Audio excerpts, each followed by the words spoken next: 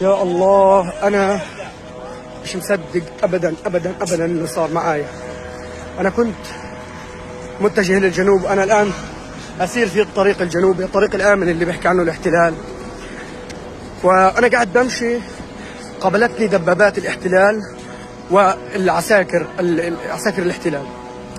فأنا ماشي زي الناس مع الناس لست يعني ماشي كأني مدني لست صحفي. فأوقفني الاحتلال زعق علي. بنضاره شمسية بنضاره شمسية. تعال هون. رحت عنده.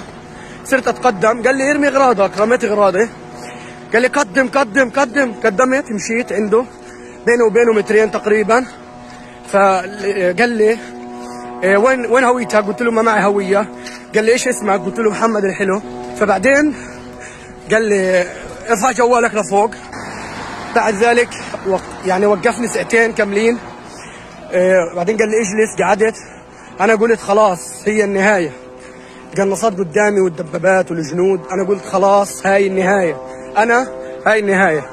باعجوبه باعجوبه والله بلطف الله عز وجل. بلطف الله أنا نجوت. راح الجندي بعد شوي. قال لي لوخ كمل طريقك. سمعت هاي الكلمة وأنا ما صدقتش. حكيت معقول؟ خد شنطتي وغراضي وافتح يا ولد.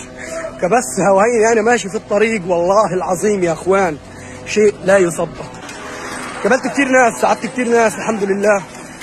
وأنا هناك كمان كان في ناس يوقفوهم وياخذوهم كان يشلح كل أواعيه بعدين يجي الجندي ويمسك.